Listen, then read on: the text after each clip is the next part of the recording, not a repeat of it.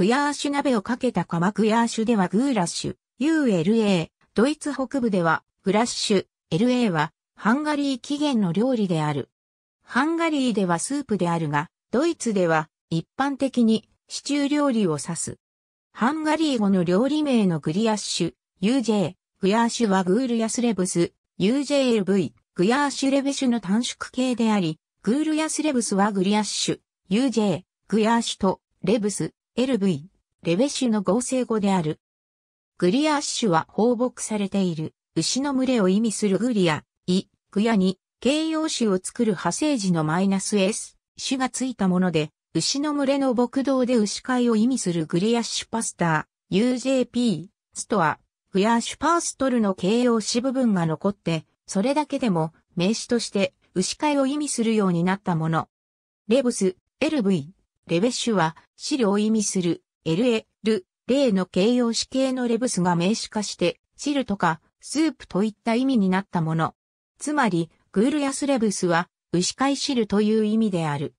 このスープを調理する日にかける鍋をボグラックス、ボートン、ボグラーチと呼び、ボグラーチに入れて供されるグヤーシュを、ボグラックスグールヤスレブス、ボートン UJLV、ボグラーチグヤーシュレベシュと呼ぶ。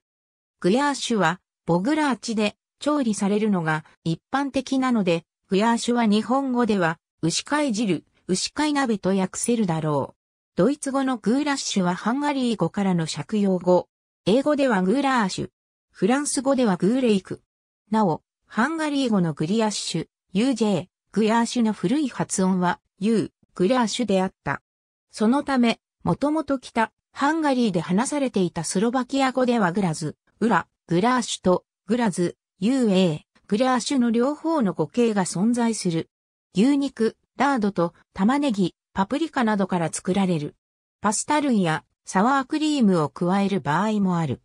放牧や農作業をしていた大ハンガリー県の人々がわざわざ時間をかけて自宅で昼食をとる手間を省くため、外へ釜を作り大鍋で昼食用に作られたスープである釜にグヤーシュが起源。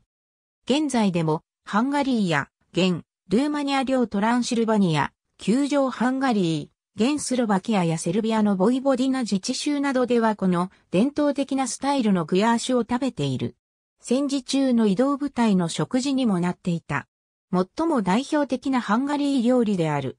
ハンガリーではスープであり、家庭においては日本の味噌汁のような存在である。ドイツなどのものはハンガリーとは異なり、どちらかというと蒸し煮シチューにあたるものを指す。かつての大ハンガリーをはじめ、オーストリア、ドイツ南西部バイエルン地方、北イタリア、スロベニア、チェコ、ポーランドのシロンスク地方、クロアチア、セルビアなど、中央一帯で代表的な料理として食べられている。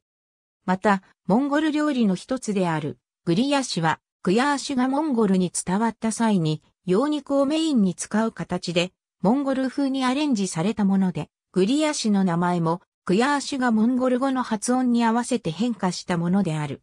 ただし、モンゴルにはないパプリカなどは使われておらず、事実上、羊肉の塩味煮込みに変化している。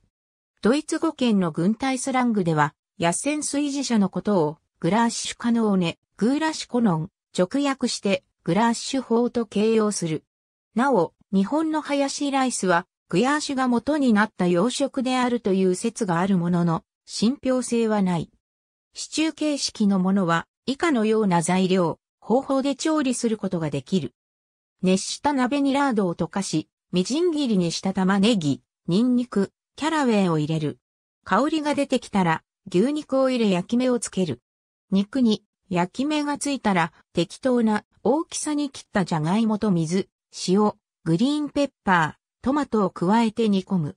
肉が柔らかくなったら塩と胡椒で味を整える。なお肉は洋肉でも良い。中に入れる肉の種類や野菜の種類により違ってくる。ウィーンフーグヤーシュ。ありがとうございます。